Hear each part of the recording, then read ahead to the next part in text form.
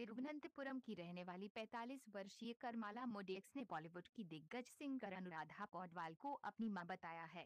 उन्होंने जिला फैमिली अदालत में सड़सठ साल की सिंगर के खिलाफ केस दायर किया है, जिसमें 50 करोड़ रुपए का हर्जाना मांगा गया। करमाला की याचिका के मुताबिक तब वे बमुश्किल चार दिन की थी, जब सिंगर ने उन्हें पालक माता पिता पोनाचन और अग्निस को सौंप दिया था। महिला ने कहा कि अनुराधा पौडवाल ने ऐसा इसलिए किया क्योंकि वे उस समय प्लेबैक सिंगिंग में व्यस्त थी और बच्चे की ज़िम्मेदारी नहीं उठाना चाहती थी।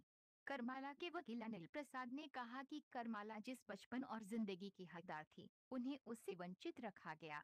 अगर पौडवाल दावे को खारिज करती हैं तो हम कोर्ट से डीएनए टेस्ट कराने की मांग करेंगे। करमाला ने इंडियन एक्सप्रेस से बातचीत में कहा, करीब पाँच साल पहले मेरे पिता ने मरने से पहले सच्चाई बताई। उन्होंने कहा कि मेरी बायोलॉजिकल माँ अनुराधा पौडवाल हैं। मुझे बताया कि मैं उस वक्त चार दिन की थी, जब उन्होंने मुझे अपने पालक पेरेंट्स को सौंप दिया था। पुनाचन आर्मी में थे और महाराष्ट्र में पदस्थ थे। वे अनुराधा के दोस्त भी थे। बाद में उनका ट्रांसफ़र केरल हो गया। मारक।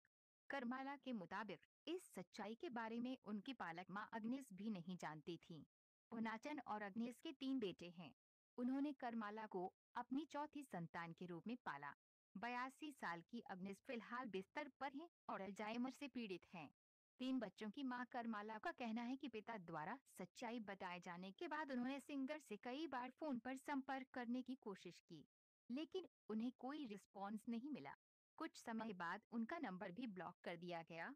करमाला ने कहा कि हमने इस मुद्दे पर अब कानूनी तौर पर निपटने का फैसला कर लिया है।